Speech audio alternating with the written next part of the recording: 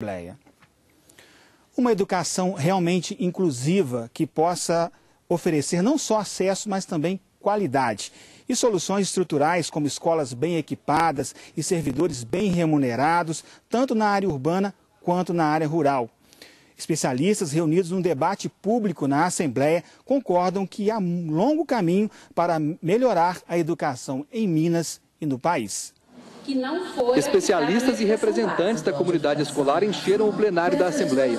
O debate abriu a série de discussões do Legislativo Mineiro na capital e no interior sobre o plano que o Estado tem para a educação nos próximos 10 anos.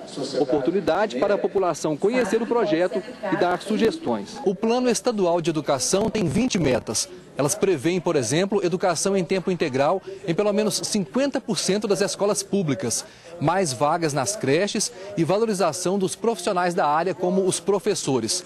A proposta ainda contempla melhorias na qualidade do ensino. Pensar como que a gente faz uma educação de qualidade, superando ainda desigualdades que a gente tem regionais, desigualdades étnicas, é, de atendimento à população, entre população do campo e população urbana. Então, tudo isso remete à qualidade. O debate abordou as metas e estratégias para o financiamento do setor.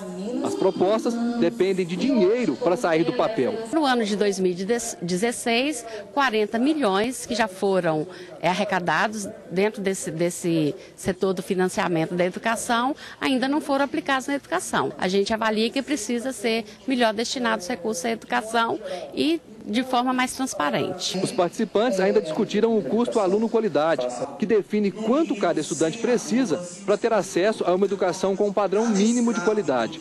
Entram no cálculo recursos para infraestrutura e salário dos professores.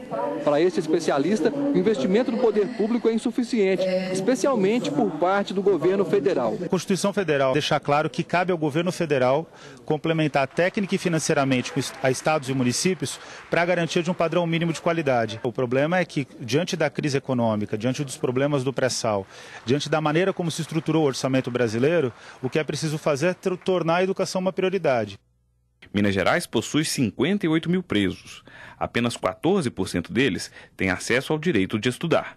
Além de possibilitar a redução da pena, o benefício é uma forma de reinserção social. Mas não basta querer para conseguir estudar na cadeia. Temos um número reduzido de agentes penitenciários. Essa questão dificulta o trajeto do preso até a escola. Questão de educação continuada para os professores. O professor ele é formado e ele tem uma experiência de trabalho externo à prisão quando ele chega naquele contexto, ele depara-se com uma outra realidade e com outras demandas educacionais. E as desigualdades educacionais atingem também o ensino nas comunidades quilombolas, onde a história dessas populações deve ser considerada. É necessário que reconheça e valorize a história local.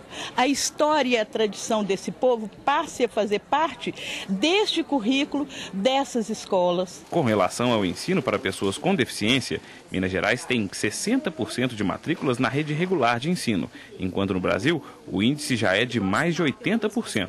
Para esta especialista, instituições inclusivas devem auxiliar as escolas regulares. Tem uma, uma escola especial que tem bastante experiência no ensino do sistema Braille, da língua brasileira de sinais, tem bastante experiência com estratégias não é, de acessibilidade ao currículo, etc.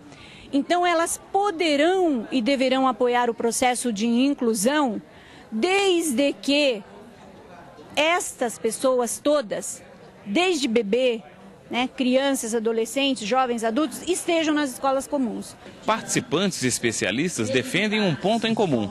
As desigualdades educacionais devem ser superadas por meio de um plano de educação que contemple a diversidade humana de maneira plena.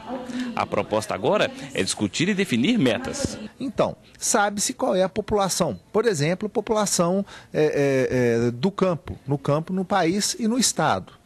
É, qual o percentual das crianças, das famílias do campo estão sendo atendidas em escolas do campo. Né, que tem uma abordagem adequada para aquela realidade. Então, são metas objetivas até para escapar daquela, daquele discurso é, gordo, onde cabe qualquer coisa, é, que se fala da importância da educação, da necessidade da educação, mas não se fala exatamente aonde se quer chegar e quando que vai se chegar e em qual ponto vai se chegar.